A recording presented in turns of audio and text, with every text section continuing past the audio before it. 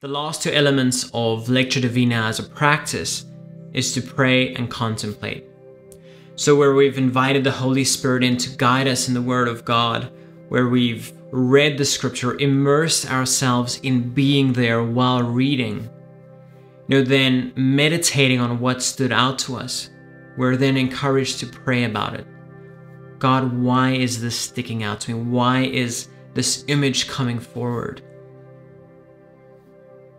Pray because we can trust that the Holy Spirit has brought this to us because that's what we asked for before we went on this journey of implementing this practice.